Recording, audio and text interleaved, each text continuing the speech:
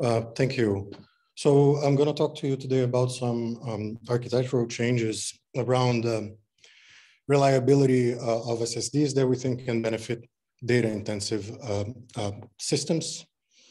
Um, this is uh, part of a larger work that we're doing to make SSD more configurable and eventually programmable.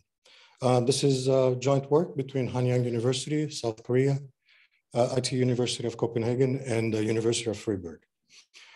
So we take ECC for granted in SSDs, but in fact is uh, one of the most important components. Uh, when we're reading something from an SSD, we're actually reading something from the flash arrays, which are the units that actually store the data in an SSD.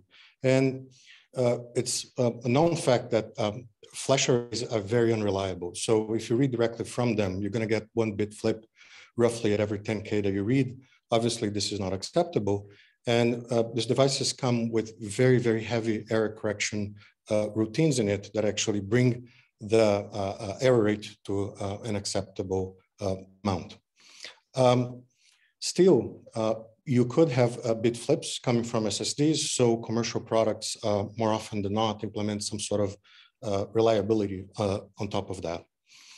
And um, the way uh, the, the devices implement uh, reliability is they calculate some parity of the data and they store it on the side uh, of the data. And the important factor in here is that a parity is calculated over a block that's determined by the device.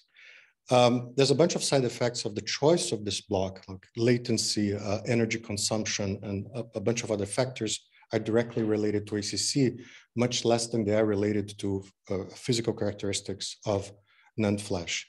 And we take issue with the fact that when you buy an SSD, ECC is written in stone. And we think there are different cases where we could tweak a little bit with ECC and gain a bunch of advantages. I'm going to talk to you very briefly about two of these cases. Uh, one we call FAR. And we call it FAR because in this particular case, the data is going to be operated very, very far away from uh, the NAND arrays where, where it is stored. And examples of this is uh, databases with uh, fault tolerance, capacity or a cold storage service in which uh, you're going to use, uh, you're going to scatter uh, data across several SSDs to account for the fact that some of them may not be available. And what happens is the application in this case builds a layer of uh, erasure coding, uh, usually replication or erasure coding on top of it. And what the application actually reads is the results of both of these combined processes, the ECC that's happening inside the SSD uh, and uh, uh element, for instance, that's happening at, at the application level.